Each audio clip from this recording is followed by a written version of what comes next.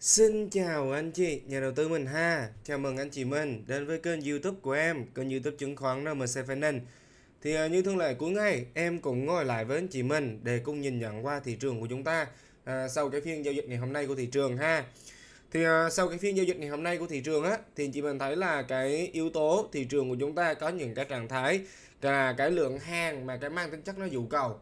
Đúng không? Cái lượng hàng này mang tính chất dụ cầu của thị trường này đấy, là ngày hôm nay nó về. Đúng không ạ, có nghĩa là cái phiên lượng hàng à, ngày thứ sáu. Đúng không ạ, mà anh chị mình thấy là cái yếu tố cái gì? Yếu tố là nó đang được hấp thụ rất là tốt sau cái phiên giao dịch ngày hôm nay. Gọi là thậm chí có những cái mảng cổ phiếu nó khỏe hơn của thị trường, những cái mảng cổ phiếu thuộc dạng kênh trên xu hướng lên, nó đã hình thành nên được những cái xu hướng trước đó, thì nó đã bắt đầu nó bước thoát và tạo ra một cái nhịp vượt. Đúng không ạ? Vượt đến cho một cái, gọi là cái cái cái ngày hôm qua rồi. Có nghĩa là nó tại, đã tạo ra được những cái cái sức bật đúng không sức bật tốt cho cái ngày hôm qua rồi. Tuy nhiên là chị mình thấy trong những cái khoảng thời gian sắp tới, nó sẽ là những cái dấu hiệu phân hóa đối với thị trường. Và thị trường của chúng ta thì sau cái phiên giao dịch này này chị phải sau cái diễn biến này này làm đánh giá thị trường của ta nó sẽ, sắp tới nó sẽ tạo ra một cái vùng nền biên cân bằng đi ngang đúng không ạ? Và cái vùng nền biên cân bằng đi ngang tạo ra một cái động tái tích lũy mới trở lại á. Mà nếu mà cái khoảng chừng đâu đó là khoảng từ 3 đến 5 phiên. Đúng không ạ? Mà khi mà cái thanh còn nó bắt đầu nó ngày càng càng kia á, thì nhịp sau nó sẽ là bước vào một cái giai đoạn gọi là bước vào một cái nhịp sóng sóng đánh mới.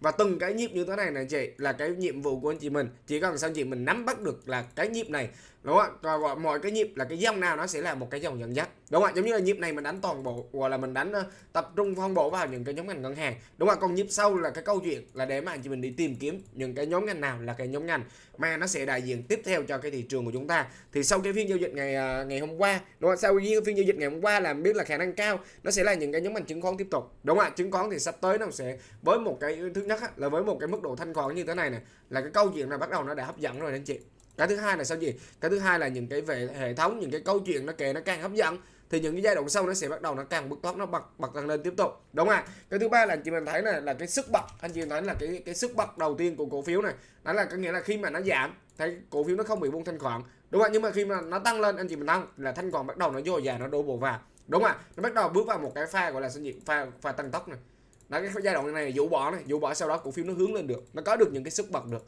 Đúng không hay là những con những con HCM nó đã có sức bật ngày hôm qua. Đúng không? Ngày hôm nay chững lại thanh còn thấp này.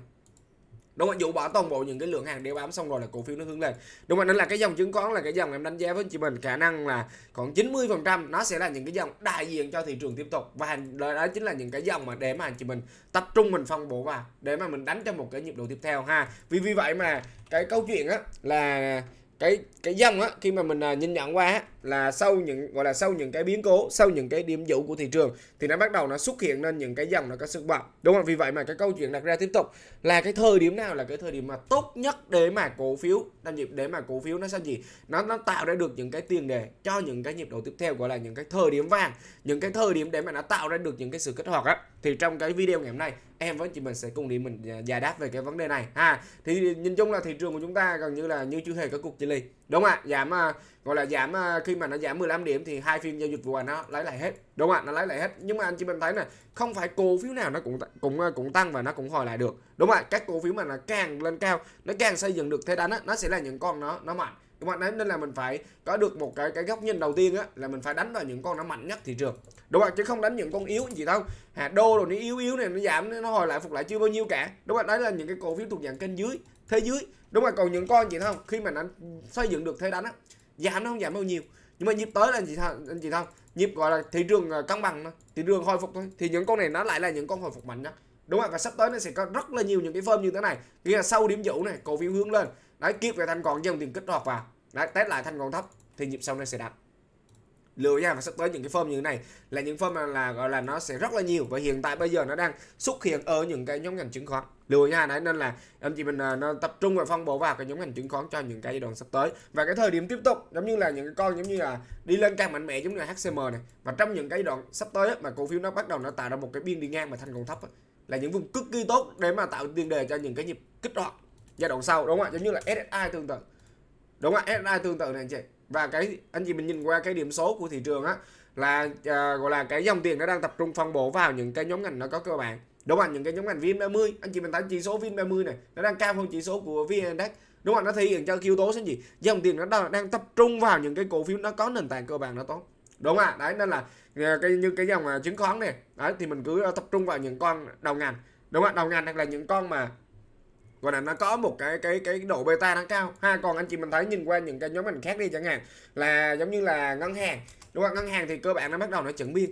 Đúng không? Có nghĩa là cái nhịp này nó đã xong cái nhiệm vụ của nó và nhịp tới nó vẫn có thể nó tăng, nhưng mà nó sẽ khó là cái dòng dẫn dắt tiếp tục nữa.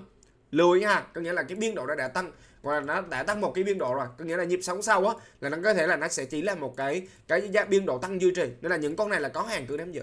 Đúng không ạ? Đấy, có hàng cứ nắm giữ này, hay là MSB này đó là những con, gọi là, nó duy trì được, gọi là, nó, gọi là, nó ờ, nó, gọi là, nó tạo ra được một cái thế tăng duy trì. Đúng không ạ? Đấy, nên là có hàng nắm giữ này ECB này, đúng không đúng không ạ? Anh chị thân, thị trường giảm, con này nó đi ngang cái nền. Bắt đầu siết chặt biên độ thì khả năng bùng nổ tiếp tục là có đúng không ạ tạo nền tạo nền liên tục này. Bắt đầu bước vào một cái nhịp sau nó sẽ bước vào một cái pha tăng tốc. Đúng không ạ, nên là những con này là có hàng, anh chị mình cứ tiếp tục mình cầm nắm. Ha, còn cái câu chuyện đặt ra là cổ phiếu nào nó còn dư địa để mà nó dẫn dắt cho một cái cái cái nhịp đại diện sắp tới thì mình có đề cập với anh chị mình chính là cái nhóm hành chứng khoán. Đúng không ạ đã chứng khoán này anh chị mình thấy là xem qua từ đầu, từ trên xuống dưới đi chẳng hạn, thì mình nên tập trung là đánh đánh vào những con nào? Đánh vào những con mang tính chất đầu ngành. Đúng không ạ, đầu ngành ở đây là gì? Có SI Đấy, nếu mà chị mình uh, gọi là uh, anh chị tham sau cái gọi là đây là chỉ là một cái đoạn gọi là tạo ra một cái, cái gọi là giai đoạn tái tích lũy hấp thụ tạo ra một cái cái kênh giá đúng không tạo ra được một cái kênh giá đi lên đó anh chị. Đấy thì sau cái giai đoạn này này mà cổ phiếu nó có những động thái nó test lại từ đó khoảng đâu đó từ 2 đến 3 phiên á mà thanh khoản kia á thì điểm này chính là một cái điểm anh chị mình vào đúng ạ tại vì cổ những cái con này nó chưa bước vào một cái giai đoạn bước gọi là chưa bước vào một giai đoạn chính sống đâu gì và cái nền của nó nó vẫn còn ngang gọi là nó nó vẫn còn quanh cái nền này. Nên là cái dư địa tăng của cổ phiếu nó sẽ còn rất là xa. Đúng ạ và cái việc của anh chị mình á là tập trung đánh vào những cái con dẫn dắt hàng đầu. Đúng ạ nên trừ khi nào cái con hàng đầu mình đã tăng quá xa rồi thì mình mới mình mới bắt đầu mình à, tìm kiếm những cái con loại hai. Đúng không giống như cái cách mà em đánh con MBB với anh chị mình đánh cái dòng ngân hàng với anh chị mình á là như này này. Đấy, tập cứ tập trung đánh MBB đúng không ạ, tại vì con đó là con hàng đầu. Mà khi mà con hàng đầu đi lên rồi, bắt đầu mới mới mới lựa chọn những cái con ưu tiên loại hai. Và khi đó mình xác định là cái dòng nó phải có sóng nha anh chị. Chứ còn mà chất dòng nó không có sóng á, thì nó chỉ đi lên một vài cái mã thôi, chứ không đi nhiều. Đúng không ạ, giống như nhịp này em không đánh MB tại vì sao? Lúc này đang đánh MB đúng không ạ, lên đánh, lên cái nhịp số 2 này. Đánh lên nhịp số 2 bắt đầu, mới bắt đầu đánh MB tại vì con đó là con ưu tiên số 2 gọi là ngân hàng loại 2 à còn hiện tại bây giờ những cái giống ngành chứng khoán loại một, có những con như con HCM đúng không ạ, đấy nên là những con này này mà trong vòng khoảng 2 đến 3 gọi là một đến hai phiên tới mà tết test lại mà thanh còn thấp á, là những điểm đó chính là những cái điểm điểm anh chị mình vào. Lưu ý hai là tiếp theo những con những con SI này này anh chị. Đã test lại mà thanh còn thấp anh chị mình vào. Đúng không ạ? VCI này test lại anh chị thấy không? Dụ xong. Đấy về mặt cơ bản cái nền ở đâu chị cái nền ở quanh này. Đúng không ạ? Nó cái, cái dư địa của nó nó chưa đi xa quá ờ, quá xa nền. Đúng không ạ? Và thanh còn anh chị thấy không? Khi mà nó nó dụ xuống này thanh còn nó không bị buông đúng không ạ? Và vô chung nó lắp lại được cái gap này này. Cơ bản đây chính là những cái nhịp test nền đúng không và sau cái điểm test nền, anh chị thấy toàn bộ những cái lượng hàng bán vội này nó đều có yếu tố nó hồi phục và nó hấp thụ lại hết. Đúng không là ngày hôm nay bắt đầu nó test lại cái vùng nền biên trên này. Đấy, thì sau giai đoạn test này, nó sẽ kiểm tra là vùng trên này nó còn lực bán nữa hay không. Đúng không ạ? Nên là một, hai phiên tới mà thanh còn nó kiếp lại nó sẽ là một cái điểm cực kỳ tốt để mà nó tạo tiền đề cho một cái điểm bứt thoát phía sau. Đúng không ạ? Thì dư địa của nó với một cái độ nền này, là đánh giá nó từ khoảng, phải tầm đến ờ, gọi là phải 20 đến 30 phần trăm là ít. Lười ha. Đấy, mà câu chuyện ờ, khi mà câu chuyện nó chưa kể ra thì nó sẽ chưa thu hút được dòng tiền đầu cơ đâu nhưng mà khi mà nó bắt đầu nó bước tốt lên rồi á thì em đảm bảo với chị mình cái không có câu chuyện nào mà nó hấp dẫn bằng cái câu chuyện chứng khoán cả. Đúng không ạ? Về KRX về nâng hạn thị trường về thanh khoản đồ rất rất rất, rất là nhiều. Đúng không ạ? Nó tạo ra những cái sự tính đầu cơ như thế. Ha hay là những cái con mà nhóm sau như, như, như gọi là nhóm tiếp theo có thể mà M, MBS đúng không MBS dụ xong hướng lên này đã test lại mà thanh còn thấp là nhịp sau nó sẽ còn đánh tiếp. Đúng không ạ? Còn những con chứng khoán nhỏ có thể lưu ý tới những con như con FTS đúng không anh chị thông FTS này đó không bị bung vào lưng thanh còn tăng lên đúng không? Có nghĩa là cái cổ phiếu nó có những cái sức bật, có nghĩa là sức bật đây cả cái dòng của nó. Đúng không? Cả cái dòng nó đều có sức bật cả. Nên là mình phải tập trung phân bổ nhiều cái tư trọng vào những cái dòng nó mang tính chất dẫn dắt. Đúng không? Vào những cái dòng nó có khả năng leader đúng không còn những cái nhóm ngành khác mình sẽ phân bổ những cái gọi là cũng phân bổ nhưng mà tập ờ, gọi là cái cái độ cái tính dòng của nó nó sẽ chưa nó nó chưa vào nhịp. Đúng không thì mà gọi là có một hai mã cổ phiếu nó gọi là nó nó nó tăng nó tăng đi lên thôi. Chứ còn bản chất cái dòng của nó nó chưa có sóng. Đúng không anh chưa có sức bật giống như đơn cử dòng thép ngày hôm nay. Cái yếu tố tăng anh chị thấy nhưng mà con H, HPG này anh chị thấy không? Đấy con HPG hiện tại bây giờ room của em vẫn còn nắm giữ. Đúng không ạ? Đấy anh chị thấy không? HPG tại vì sao cái cổ phiếu ngày hôm nay nó tăng mạnh? Tại vì sao cơ bản là nhịp trước đó nó đắt? Đúng không ạ? Các bạn nhịp này nó test lại cái nền, đúng không? Test lại cái đỉnh cũ. Đúng không ạ? Thì khi mà chỉ số cân bằng gì thôi, những cái con này bước thoát. Và ngày hôm nay bắt đầu nó bước vào một cái giai đoạn gọi là giai đoạn tăng tốc đối với cổ phiếu này anh chị. Đó, giai đoạn tăng tốc đối với cổ phiếu này. Đó bước vào pha tăng tốc rồi thì cái phiên này chính là cái phiên gia tăng. Đúng không ạ? Còn đối với anh chị mình thấy hoa sen, nam kim chưa? Những cái con trình sau. Đúng không? Anh chị thấy không? Còn hầu phát nó test lại cái đỉnh này nhưng mà những cái con trình sau này, hồi phục lên nó sẽ lâu. Đúng không? Hồi phục lên nó sẽ gặp nhiều cái cái lượng cung, gọi là cái lượng hàng cung còn kẹp đúng không phải đối với những cái con này á là nó phải có một cái quá trình cho nó hồi đi. Đúng không cho nó hồi lên vùng này này mà vùng sau nó kiếp về thanh còn á thì nhịp sau nó mới là một cái điểm xác nhận. Anh chị mình đánh từ điểm xác nhận này đánh lên này. đấy thì nó sẽ ok lúc đó nó sẽ vào sóng. Và sau cái nhịp vũ này của thị trường em đánh à, hôm trước có đề cập với anh chị mình đây là một cái điểm vũ cần thiết. Đúng không và có thể sau cái điểm vũ này thị trường của chúng ta bước vào một cái cơn sóng tổng thể. Ha à, nhưng mà cái việc á, là đầu tiên mình chọn ra cái dòng mạnh nhất. Cái thứ hai là chọn ra cổ phiếu mạnh nhất. À, anh còn những cái con giống như nam kim gì không? Hồi phục đâu bao nhiêu đâu. Đúng không hồi phục lên cái được bán ngay. Đúng không tại vì sao? Cung nó kẹp vùng trên này có đúng không nên là con càng mạnh phải càng nắm giữ và càng phải tập trung vào. Chứ không phải đừng uh, thấy con kia mạnh mua một con này em đánh giá nó sẽ sai hết. Liệu anh nó sẽ không hiệu quả hết? Anh anh, anh chị nói là chị mình thấy này ngày hôm nay đánh chỉ có mỗi họ phát. Đúng không còn hoa sen nam kim test lên cái là gặp kháng cự ngay. Đúng không gặp áp lực bán ngay. Đúng không ạ? Đó nên là tại vì cái bản chất là cái dòng này nó chưa vào. Đúng nó chưa vào điểm kích hoạt nó chỉ có một cái mã cổ phiếu họ phát là nó tăng thôi còn hai con này là sao gì cơ bản nó test đỉnh. Đúng không test đỉnh thì nó sẽ mất còn từ 3 đến 5 phiên nữa. Đúng không nếu mà cái trường hợp lên vùng này này nó giữ được cái biên mà thanh còn thấp á làm đảm bảo với nhịp cứu gì nhịp sau nó sẽ có xong nhưng mà hiện tại bây giờ chỉ là một cái điểm test nền. Đúng không test đỉnh thôi. Ha còn đối với cái dòng chứng khoán này cái dòng này, nó có sức bật. Đúng không ạ nhưng mà dòng chứng khoán á là nếu mà đánh á đừng đánh SS tại vì sao SS thế giảm đấy. Đã chọn những cái con nào mà bứt thốc nền rồi anh chị mình đánh. Ha là CTS cũng được này anh chị. Đúng không ạ? Cái nền của nó ở đây đúng không? Ạ bùng nổ lên test lại thanh còn thấp. Đúng không? Ạ những cái vùng phía sau mà test test mà quanh quanh 31 này, này mà thanh còn nó thấp lại đây chính là những cái điểm mua cực kỳ tốt. Để mà sao gì để mà săn cho những cái nhịp gọi là cái cái cái cái, cái nhịp tiếp theo. Đúng không? Chứ còn bản chất đừng để cổ phiếu nó tăng lên rồi tăng lên một đoạn rồi bắt đầu mới nhận diện vào lúc đó giá cổ phiếu nó đang ở cao. Lúc đó lại không có điểm mua cho anh chị mình nữa. Ha nên là còn những cái con mà nó còn gần là sau vụ này gọi là siêu đi mua sau vụ đó anh chị. Thì nó còn thì chị mình cứ cắt anh chị mình vào. Ha hay là tiếp theo mà cổ phiếu của vít này anh chị. Đấy vít này nó cũng đâu cũng gần cái nền. Đúng không nên là dư địa cũng nó nó nhiều. Đúng không dòng chứng khoán này dụ xong không có, gọi là không có, gọi là không bị buông thanh khoản này, những cái giai đoạn sau chỉ thông, lên nó không cần có volume. Tại vì sao? Nó cứ, nó đâu có yếu tố thanh khoản, gọi là cái cái lượng kẹp nó bị dụ ra cái phiên này này. Lên vùng trên này gần như không được, còn được bán nữa. Đúng không thanh còn thấp thấp này này cứu gì anh chị mình, anh đánh giá anh chị mình cứu gì nó không sẽ đánh nữa. Đấy, nên là dòng mà chứng khoán á, thì chị mình cứ tập trung phong bố anh chị mình đánh này.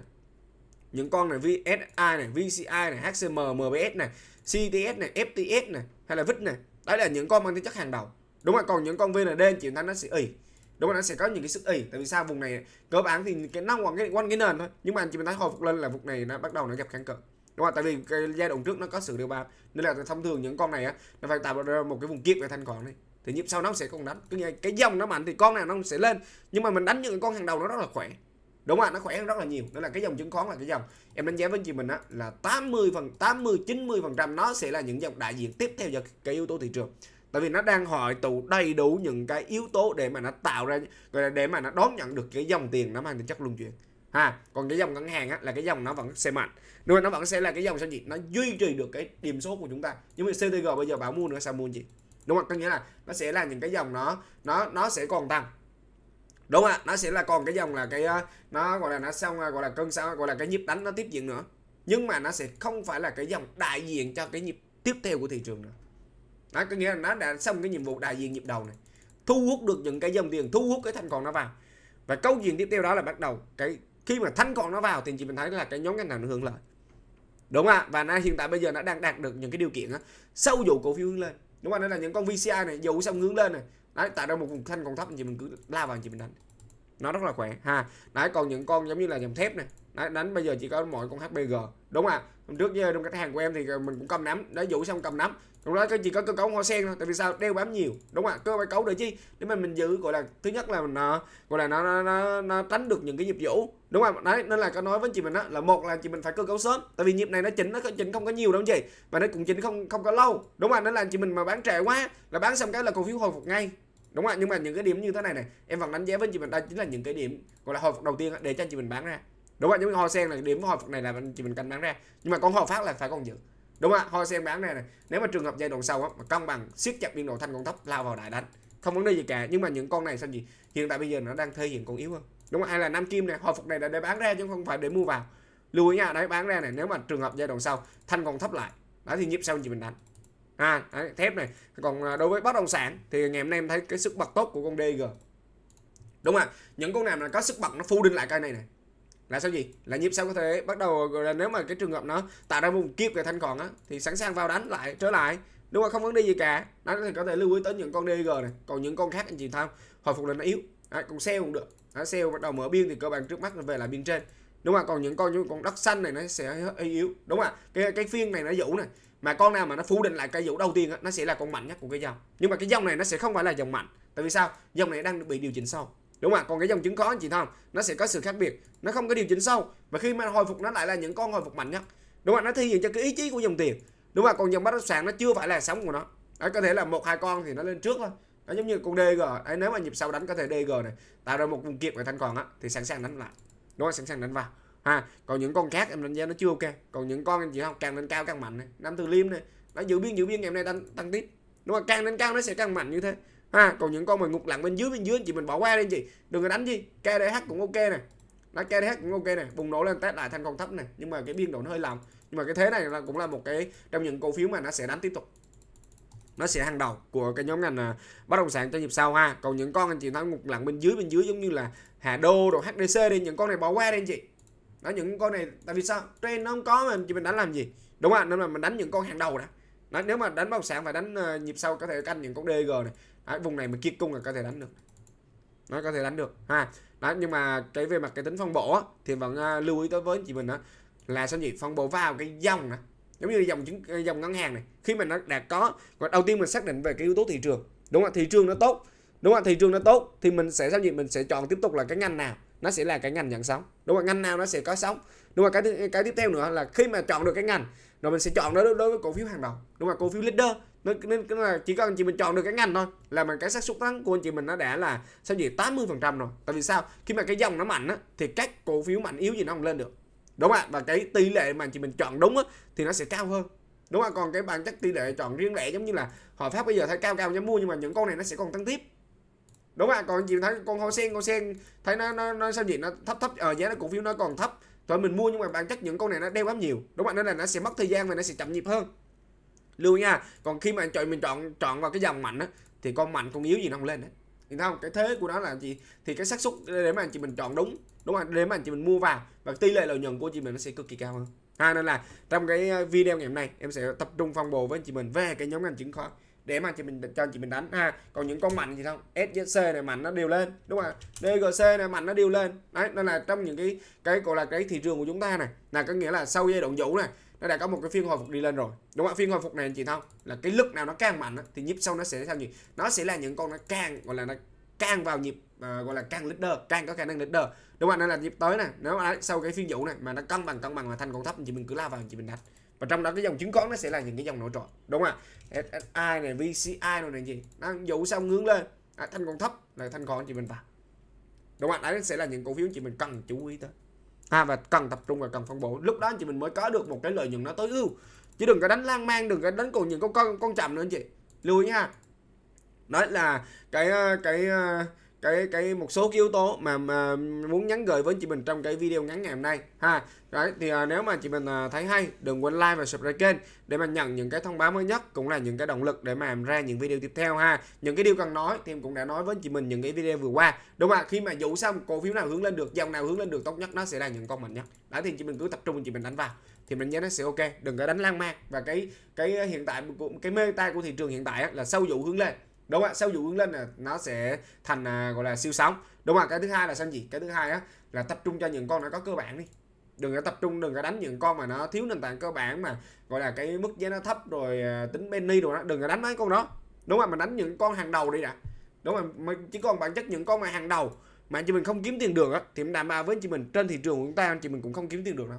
Anh chị mình không kiếm tiền được từ những con nhịp trưa vừa rồi anh chị mình không kiếm tiền được được từ những con MB thì những con giống như hè đô sao, sao chị mình kiếm được được tiền anh gì đúng à lưu ý nha đó nên là mình chọn cho những mình những cái thế đánh để mà gì? Để mà mình tối đa hóa được cái lợi nhuận. Và khi mà những cái con đó nó sẽ sao gì nó đảm bảo cái tính rủi ro cho anh chị mình. Tại vì sao? Khi mà những cái con mạnh á, là nó chinh nó chinh ít nhất nhưng mà khi mà nó tăng nó sẽ là những con nó tăng mạnh nhất. Ha nó mang lại cái lợi nhuận cho chị mình tối ưu nhất có thể ha. Đấy, thì đấy là một vài cái yếu tố mà muốn nhắn gửi với chị mình trong cái video ngày hôm nay. Ha, nếu mà chị mình thấy hay, đừng quên like và subscribe kênh để mà nhận những cái thông báo mới nhất cũng là những cái động lực để mà làm ra những video tiếp theo. Nếu mà chị mình thấy phù hợp với quan điểm đầu tư và muốn đồng hành cùng em trong cái cơn sóng sắp tới, đừng để cơn sóng này nó quá trễ nha anh chị anh chị thấy giống như đơn cử VCI đi chẳng hạn.